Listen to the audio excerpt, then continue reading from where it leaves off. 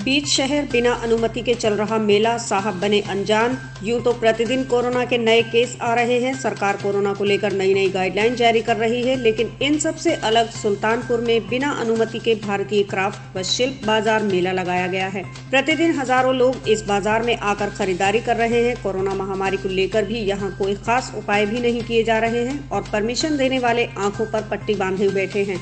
बताते चले कि नगर के खुर्शीद क्लब में भारतीय क्राफ्ट एवं शिल्प बाज़ार लगाया गया है। इस बाज़ार में लकड़ी से बने सामान, ऊनी कपड़े, कंबल, शॉल इत्यादि की बिक्री की दुकानें लगाई गई हैं। प्रतिदिन हज़ारों की संख्या में लोग आकर खरीदारी कर रहे हैं। बावजूद इसके, यहाँ कोरोना को लेकर कोई भी फिक्रमंद नहीं है। सैनिटाइजर, सोशल डिस्टेंसिंग की बात छोड़िए, दुकानदार और ग्राहक भी मास्क लगाना उचित नहीं समझ रहे हैं। ऐसे में कोविड 19 वैश्विक महामारी को जिला प्रशासन कितना संजीदा है बताने की ज़रूरत नहीं। आइए अब आपको इस क्राफ्ट एवं शिल्प बाज़ार के संचालक से मिलवाते हैं। पिछली 20 नवंबर से आगामी 30 नवंबर तक ये प्रदर्शनी चलेगी। इनका क्या कहना है आप खुद सुनिए। संदीप कुमार वर्मा। अपना दुर्गापुर बाज़ार के।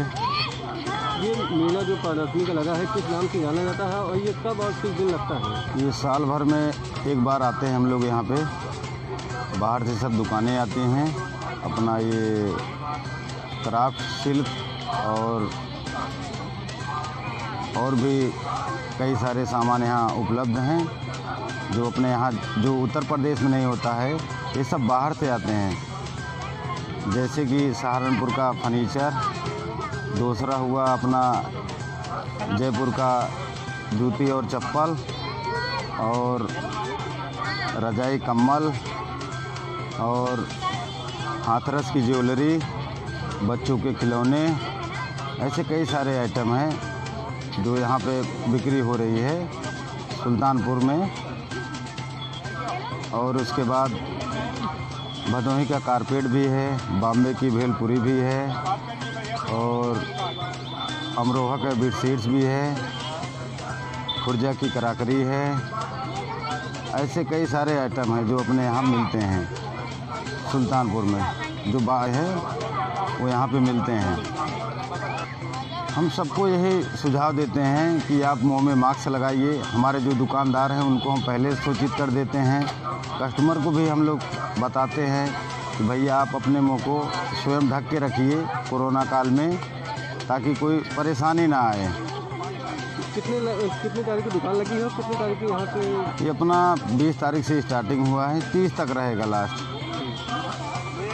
अब सवाल उठता है कि जब अनुमति ही नहीं दी गई तो प्रदर्शनी लगी कैसे? जिम्मेदार कौन है जो लोगों के जीवन से खेल रहे हैं? कोरोना महामारी से बचाव के लिए सरकार और शासन के मंसूबों पर आखिर किसकी शाह पर पानी फेरा जा रहा है? क्या ऐसे लापरवाह लोगों पर कार्यवाही भी होगी या फिर जाँच के नाम पर फ़ाइल बंद कर दी जाएगी?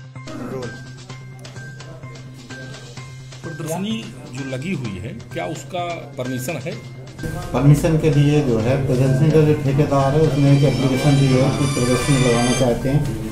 और कोविड जो 2019 है, उसका अनुपालन करते हुए लगाना चाहते हैं कि हर एक व्यक्ति जो प्रदर्शनी में जाएगा, जो दुकानों सामान खरीदेगा मास्क लगाएगा, सभी दुकानदार मास्क लगाएँगे, दो गज की दूरी बनाए रखेंगे, एक अलाउंस सिस्टम रखेंगे कि दो गज की दूरी बनाए रखें, सभी लोग मास्क लगाएँ।